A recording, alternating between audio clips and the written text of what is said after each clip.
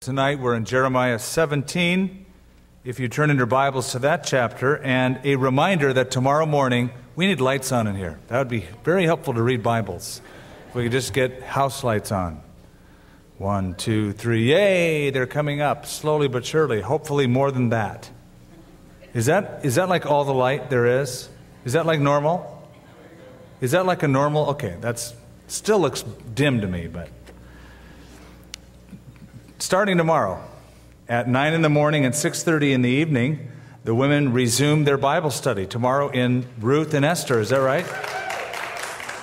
Is that correct? Pathway to god's plan. And uh, so for you ladies tomorrow morning i even slip in every now and then to catch it and it's excellent. So um, that's tomorrow morning. Tonight i want to begin by reading something that um, Last week we had different uh, testimonials. They were very encouraging. Here's one from Hawaii, and I want to share it with you. Aloha, Skip, and the people of Ocean Hills. I just wanted to share the blessing that you have been in my life. I live in Maui. Somebody's got to do it. Rough job. And I go to a church here, but I found your website through the local Christian radio station. I was listening to Skip services on the radio as I drove to work each day, except it only takes me 20 minutes to get there. So I was sitting at work, I am a teacher, in the car listening to the remainder instead of getting ready for the kids. Anyway, they mentioned the website, so I decided to check it out. I've been experiencing an intense craving for more of God's Word.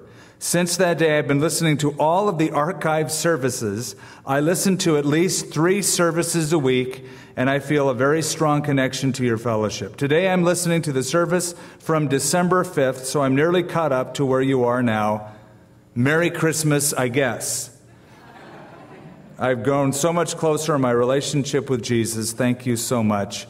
And then she signs it with love. So, see, this stuff goes out all over the place, not just the radio broadcast, but the live webcast from this church through that little room back there. So, thank you guys and gals and all that you are accomplishing there.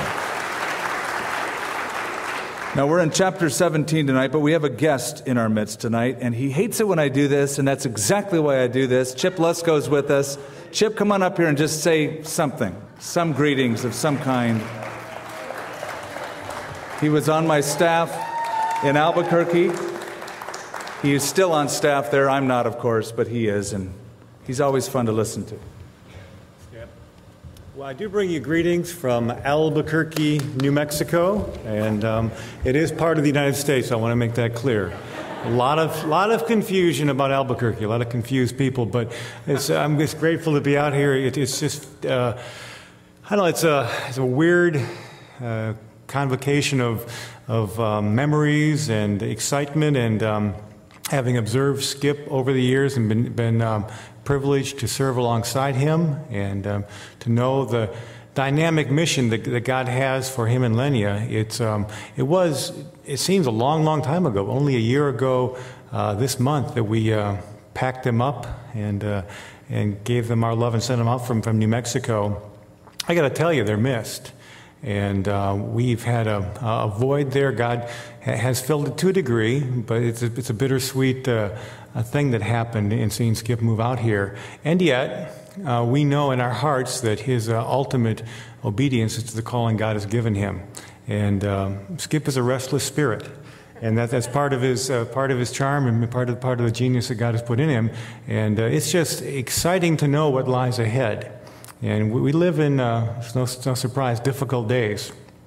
We have uh, uh, trials in Albuquerque right now that are really extraordinary. We would uh, really covet your prayers for some of the things that are going on in our town that um, we just encourage you to pray for. But I just want to say it, it's great to, to be here and, and, see what God's doing. And, uh, and really, you know, what, what, comes to my mind is not so much the, um, um, the line on line and the, the graphics and all, it's, it's the faithfulness to God's Word. I guess if I had a quick thing to say, it'd be what is the husk to the kernel? and how much time we, we spend talking and worrying about the, the, the husk that's going to blow away. And it, it's all about the word.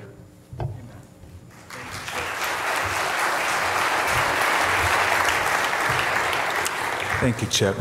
Um, was that from touching this? we have problems in Houston. Um, if we wouldn't mind just praying specifically uh, for that fellowship, just for a few moments, let me just be a little more specific. The, uh, the wife of someone that was on our staff recently had been, has been killed, and uh, there's a huge stigma attached because it was a murder. And uh, it, it's, when that happens, it rocks the entire community, not only the, the fellowship there, but the town and the state. And uh, let's just uh, spend a moment as we begin tonight and pray for that situation. Heavenly Father, um, you know all these things. They certainly do not escape your view. And uh, we just come before you as your people um, and many more who are joining us via the internet. And we just all collectively pray for this situation, for this husband, for those friends, for the family that is gathering together and having a memorial and uh, will never be able to fill that void because of this incident. We're so thankful that, in spite of it all, you are in the midst working your plan. And we're also so thankful that she's with you in glory because she had that relationship that comes only through Christ. And as we think about her death, we think about the inevitability of death to every single person on earth. It is appointed to every man once to die. And after this, the judgment. So we pray that anyone who would be even listening to this words, these words, who are not prepared, would be prepared by resting totally in your arms in Jesus' name. Amen. Let's open our Bibles then. You've probably already done that. I need to open my Bible to Jeremiah chapter 17. Sin stinks. Isn't that a profound statement? You can quote me on that. Sin really stinks. There was a man, a grandpa, who was sleeping at his uh, family's house one Sunday afternoon after church, and he was on the couch, and his grandson decided to play a trick on him. Went to the refrigerator, got out some Limburger cheese, and rubbed it on Grandpa's mustache. Grandpa woke up not knowing what had happened. And he said, This room stinks. And the kids were in the other room snickering, laughing, because they had done it. Grandpa got up, went into the next room, and said, Man, this, this room stinks too. Went into the kitchen. Boy, this entire house smells. Grandpa went outside, smelled the neighborhood, said, The whole world stinks. Well, truth was, Grandpa stinks at that point, and he had Limburger cheese on his mustache, and so, in his view, the whole world stinks. We are usually very good at pointing out other people's sins. We're good at smelling certain things only because we're familiar with the smell. It sort of follows us wherever we go. So we have to be careful whenever we're pointing out other people's faults that that fault isn't in our own life. The people of Judah were pointing out problems, not in their own lives, not even in the life of the country, but in the life of a prophet named Jeremiah. Jeremiah, you stink, they would say. And they persecuted him time and time again. But the truth was is their own sin was reeking before God. And God was patient, but God was about to judge. And we come to some more of that um, topic and those statements in Jeremiah chapter 17. In, in this chapter, we sort of get a tour of the heart. The heart is always the problem when it comes to sin. We like to point it on something outward, but the problem is always something inward. The sin of Judah is written with a pen of iron. With the point of a diamond, it is engraved on the tablet of their heart and on the horns of your altars. A few thousand years ago, when pagan altars were dotting the landscape of Israel, Moab, the area on both sides of the Dead Sea, from Egypt to Mesopotamia, the altars had protrusions on them, little horns that came off the altars. And it wasn't untypical for idol worshippers to engrave the names of their gods on the horns of the altars. And it was something that was visible.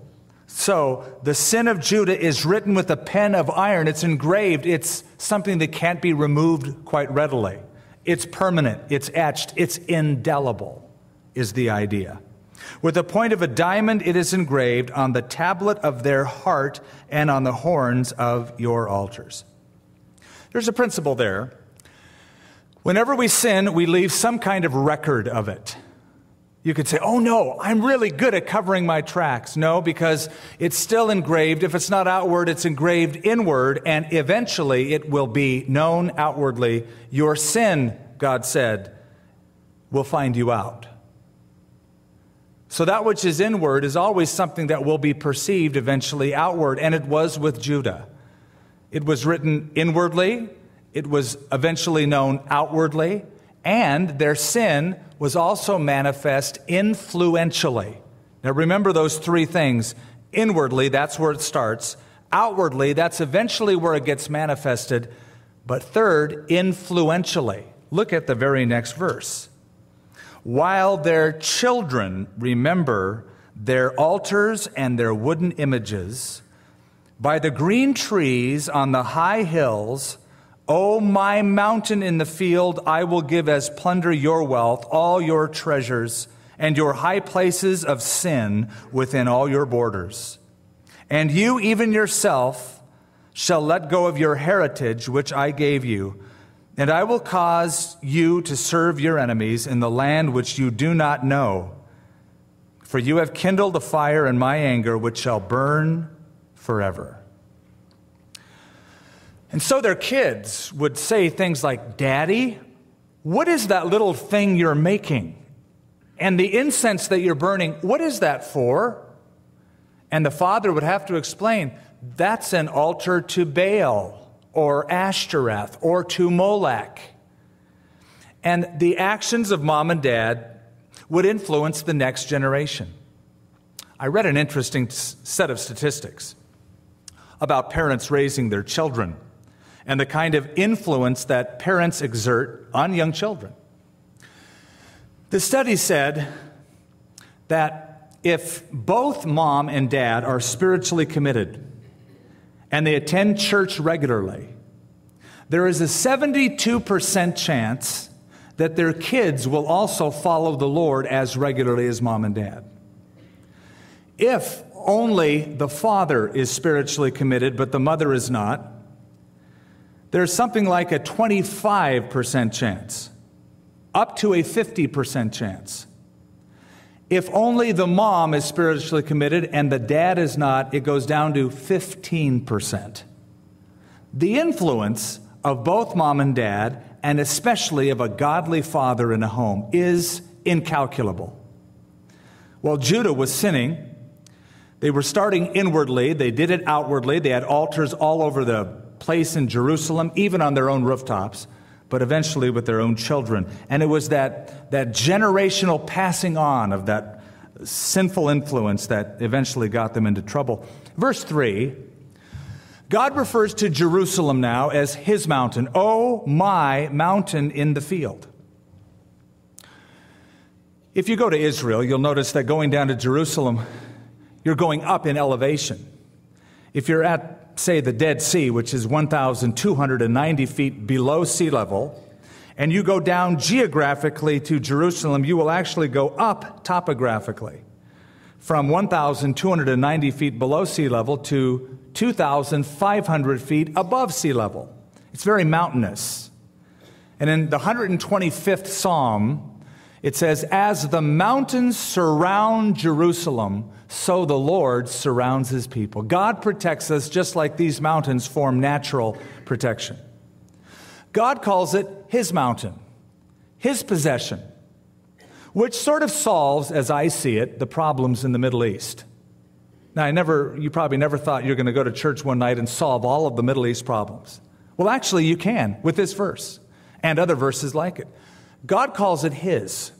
Whose land is it over there anyway, the Israelis or the Palestinians? It's neither. It's God's land, it's God's city, and in Leviticus, the Lord says, It's my land and it shall never be sold permanently. Now, having said that, that it's God's land, I figure it this way God can give his land, his property, to anybody he wants to. Now, there's a beautiful bass guitar that I played tonight. It's not mine, I just borrowed it. It belongs to somebody else. A brother in the church has this vintage I don't think it's a 67 or 73 Rickenbacker bass. It's classic.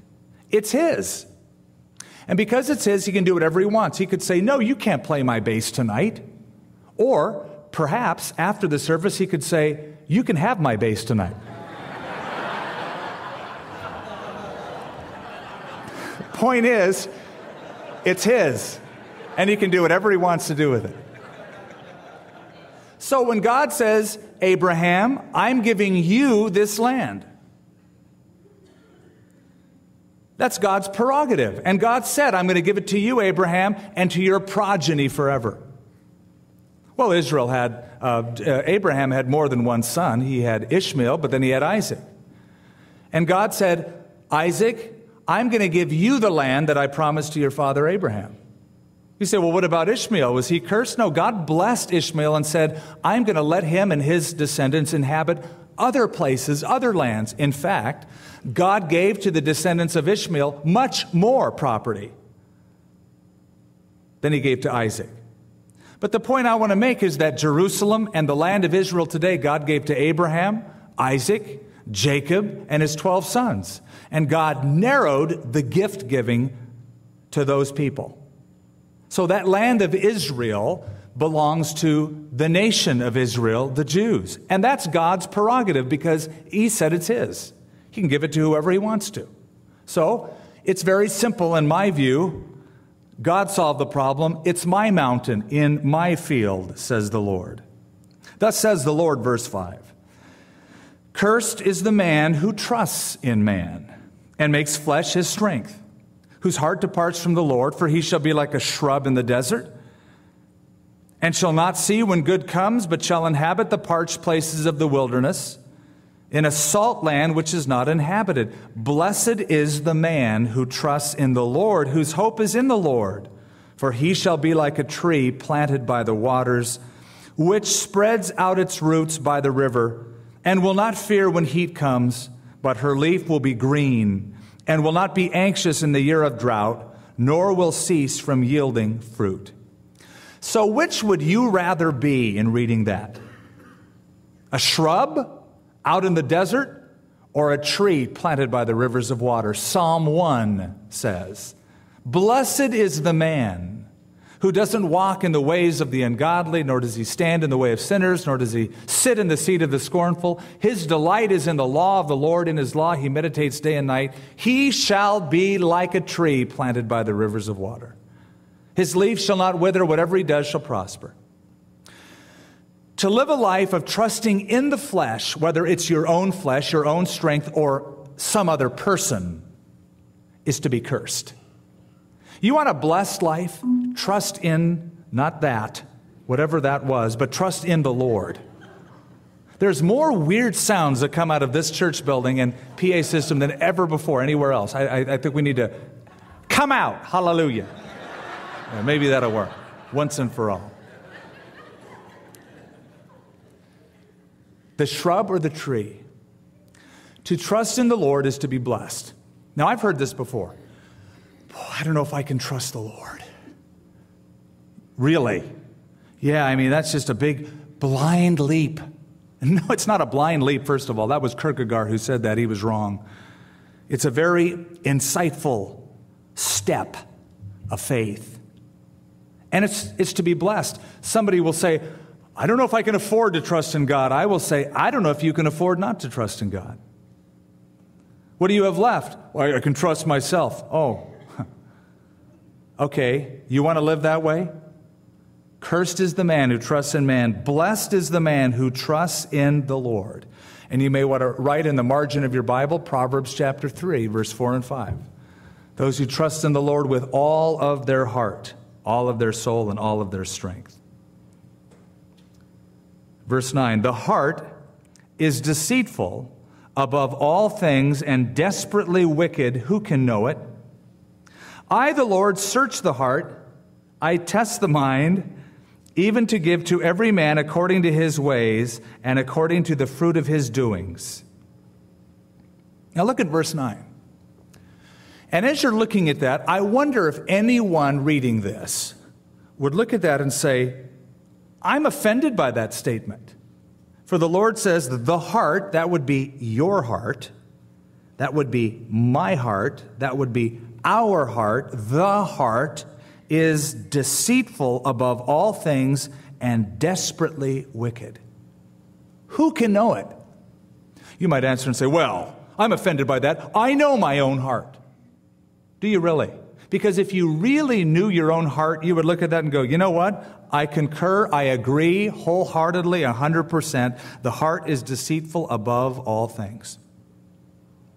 Let me tell you an interesting story. It happened years ago. In the days when the cameras weren't digital, they were film, and uh, the, the film was roll film. It was two and a quarter by two and a quarter was the format, medium format photography. And it was in the days of the first Kodak cameras when they all had leather cases on them. There was an evangelist in Glasgow, Scotland, who used to carry a Bible around in a camera case. And he did it for a reason because he knew that cameras were scarce and it was something of a privilege to get your photograph taken. So he'd walk around the streets and inevitably somebody would see his camera case and go, Hey, w- would you mind taking a picture of me? because people love to have their pictures taken. Would you take a picture and then would you send it to me? And so when they would stop the evangelist, seeing his camera case, and say, Hey, would you take a picture of me? He would say, Interesting that you'd ask. I already have your picture. You do? How could you? Oh, I, I have it right here. And he'd open his camera case out, take out his Bible, and he would turn over to Romans chapter 3, and he would say, Here it is. As it is written, there is none righteous, no, not one. There is none who understands. There's none who seeks after God. All have gone out of the way. They have altogether become unprofitable. There is none who does good, no, not one. Their throat is an open tomb. Their tongue practices deceit. The poison of asps is under their lips. Their mouth is full of cursing and bitterness. Their feet are swift to shed blood. Destruction and misery are in their ways. The way of peace they have not known, and there is no fear of God before their eyes. And he'd smile. He'd say, There's your photograph. That's a perfect description of you according to God, the doctor who diagnosed you. How do you respond to that? Usually dead silence. And then the evangelist would start from there. All have sinned and fallen short of the glory of God, and then preach to him the grace that comes through the shed blood of Jesus Christ. But he began there. He began where God begins with the depravity of man. Man is depraved. It doesn't mean he's as bad as he can be, it means he's as bad off before God as he can be. Because you might read the heart is deceitful. Oh, you, you don't know me. Especially, you know, a, a parent holding an innocent little child. Are, are you saying my child, my baby, is also in that same condition? How could you? And I would say, just wait a few months. it won't take long for every parent to discover the Bible's right. Do you ever have to teach a baby to lie? No, they do it naturally. Do you ever have to teach a child to misbehave or be recalcitrant or be angry or be fitful toward the No, they'll do it naturally. You will have to correct them and steer them away from that. The depravity of man, most every parent recognizes is true. The heart is deceitful above all else. Who can know it? It was C.S. Lewis who used to say, No amount of bad eggs can make a good omelet. That's good. No amount of bad eggs can make a good omelet. If you still think you're good enough for God, on your own, listen, you're not saved. You're not saved. The only people who are saved are people who recognize they're sinners and need a Savior. You don't get saved unless you say, I need a Savior to save me. And you don't say, I need a Savior to save me unless you say, I'm a sinner. There's a lot of S's in that, but it's true. Sincerely true. Sinners need Saviors, and they get saved because they call upon the Savior to do it. So God says, I've looked you over, I've gone into the heart. It's wicked, it's desperately wicked. Who can know it? Who knows it? God says, I know it. Verse 10 I test the mind, I search the heart, etc. Verse 12 A glorious high throne from the beginning is the place of our sanctuary. O Lord, the hope of Israel.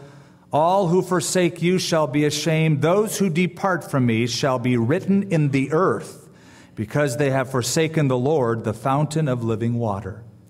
Now, this is all poetry that describes through this very unique, compassionate prophet the state of the nation of Judah.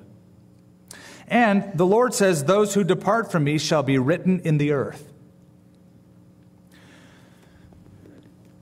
Your name is written somewhere. You say, Yeah, it's written, it's, it's in the bank. They know how much I owe them. And they remind me every month. Your name's written all over the county. You may want to just do an interesting thing. Get on Google and your internet and write your name in it and search for it. Have you ever done that? Fascinating what you'll come up with. Your name is written in earth, and one day you will leave the earth, and your name will be written on a tombstone on the earth. But I hope it's written in heaven as well. I hope your name is written in the Lamb's book of life. Because a lot of people will leave this earth, and their name will only be written on earth, it will not be written in heaven, and it will be too late. I love to go through graveyards. You say, You're weird. Perhaps you're right.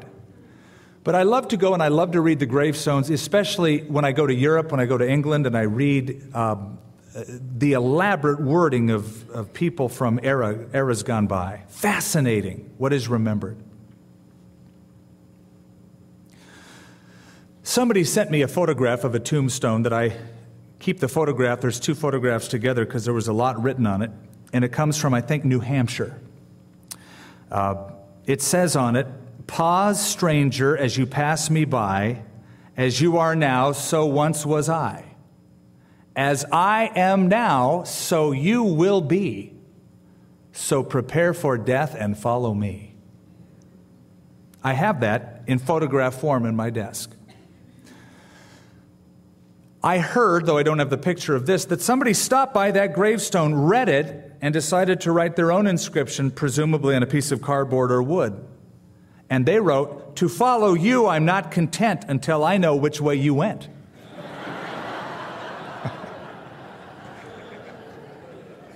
Clever. He says, Follow me. I said, Well, before I follow you, where'd you go? Your name's written in the earth, but is your name written in heaven? If your name's written in heaven, I'll follow you. If your name's written only on the earth, well, we're all going to follow you eventually, but I want to make sure I don't follow you in the other direction after death. Their name will only be written. By the way, isn't it fascinating that we have a record of Jesus writing on the earth? We don't know what he wrote in John chapter 8. All it says is that as the Pharisees came to stone a woman caught in adultery, Jesus stooped and he started writing in the ground of the earth. I don't know what he wrote. I have a hunch. Perhaps he was writing the names of the Pharisees. Maybe he was right, maybe he was thinking of this scripture and writing their names in the earth, and perhaps even afterwards writing their secret sin. Here they were ready to stone a woman caught in adultery, and Jesus doesn't say anything. Maybe he wrote, Shlomo, evil thoughts and theft, income tax evasion, and then Avi. And he just kind of wrote names perhaps on the earth. But it was enough to convict them after he said, You who are without sin, cast the first stone. Anyway, they departed from me, there shall be written in the earth. Jeremiah prays now in the rest of this section Heal me, O Lord, and I shall be healed. Save me, and I shall be saved. For you are my praise. Indeed, they say to me, Where is the word of the Lord? Let it come now. As for me, I have not hurried away from being a shepherd who follows you. I love that. Every shepherd needs a shepherd. He was a shepherd, he was a prophet of Israel. He followed the Lord wholeheartedly. The Lord is my shepherd, said David. Nor have I desired the woeful day. You know what came out of my lips. It was right there before you. Do not be a terror to me. You are my hope in the day of doom. Let them be ashamed who persecute me.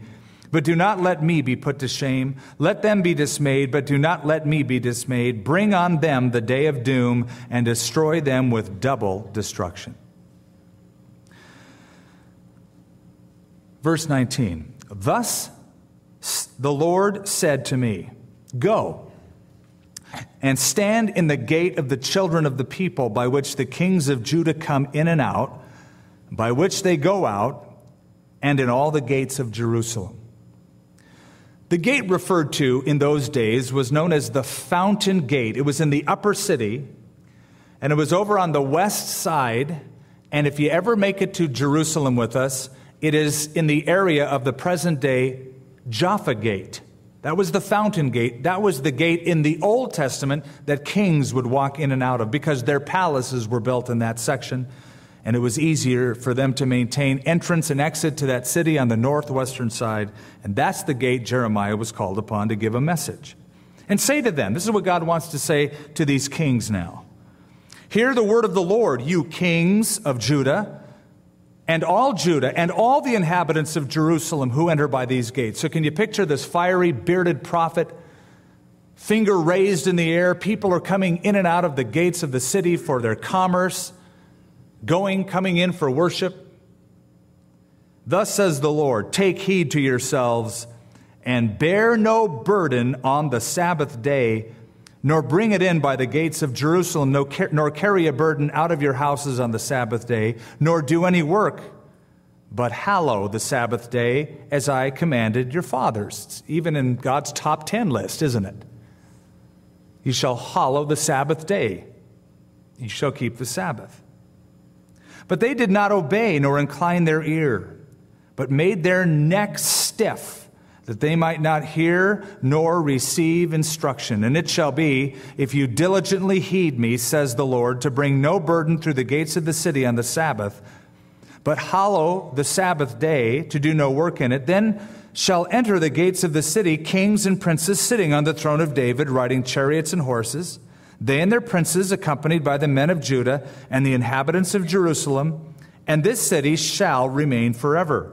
And they shall come from the cities of Judah, from the places around Jerusalem, from the land of Benjamin, that's tribe next door, from the lowland, from the mountains, from the south, bringing burnt offerings and sacrifices, grain offering and incense, bringing sacrifices of praise to the house of the Lord.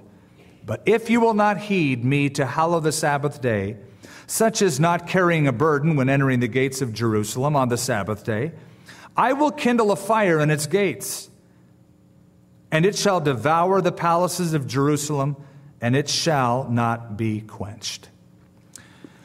What's up with this? Here's what's up God told him, Honor me. And one of the ways God wanted the children of Israel to honor him is a covenant of keeping Saturday, the Sabbath day, from Friday sundown to Saturday sundown. Keep the Sabbath. And, and here was the deal God said, rest, man, relax, hang out, don't do any work. Now, to me, it sounds a little weird that people wouldn't say, Really? You mean I get to do nothing? That's right. You mean I don't really have to work or like pull up weeds around the garden or fix the kitchen? My wife really wants that done. No, Saturday you hang out. You have to do no work. Done. Lord, whatever you say, hallelujah. But God had to give them a command, then they broke it. And here's why they broke it. They figured well, it is an extra day to make some extra money. So why shut the gates? Why not bring in some of the loads of my produce and commerce in and out of the city and use it as a day to make some money? Now, there was in our country sort of the tacit understanding 50, 100 years ago that everybody takes Sunday off. It's the Lord's day. Let's not have anything open. Let's just shut down business. Oh, but why? You know, I mean, it's, it's an extra day. You can make some more money. Now, going back to Israel, the Sabbath keeping was a barometer of their spirituality, that's all. The fact that they wouldn't obey God on the Sabbath was an indication that they weren't obeying God in other areas of their lives. It was the barometer that showed the intensity of their love and obedience to God.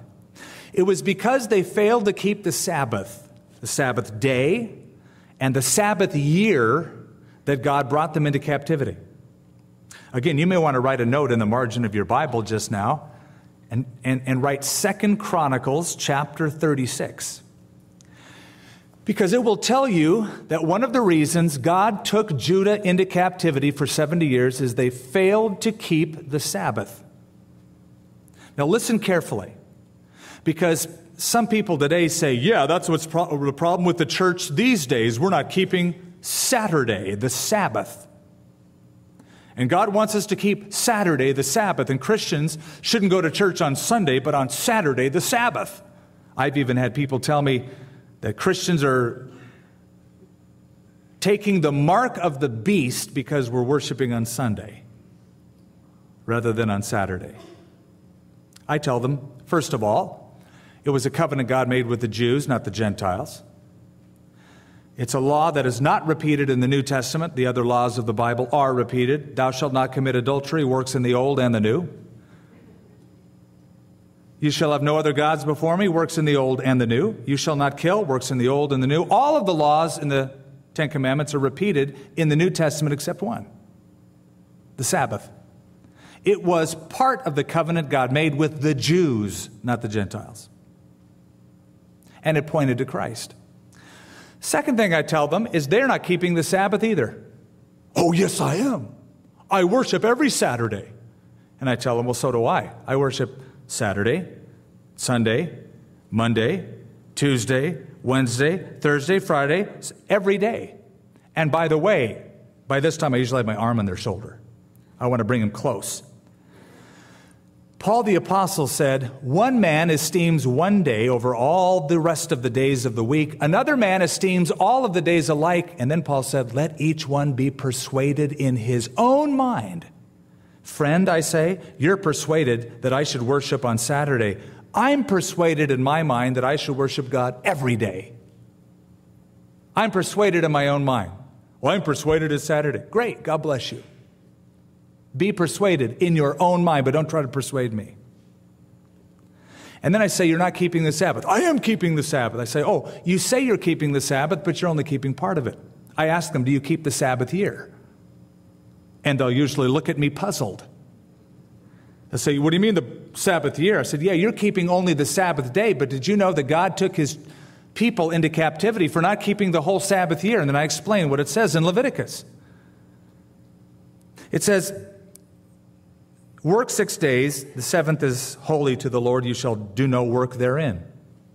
Six years you shall work the land. The seventh year you let your land lay fallow.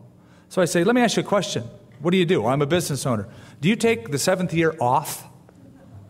And just whatever happens in your business, you just let it go? Well, that'd be suicide. You're not keeping the Sabbath. And the children of Israel, see, this is how it worked. The seventh year, debts were remitted and the land was able to be redeemed on the seventh year. Uh, seven sets of seven years, or 49 years. After that was the 50th year, the Jubilee year. All of the debts were completely free, and the land reverted back to its original owner. This is all part of the Levitical law. Because the children of Israel failed to keep the Sabbath year, and they did it for 490 years, divide that by seven, how many years is that? 70 years. That's why God allowed them to be in Babylon 70 years.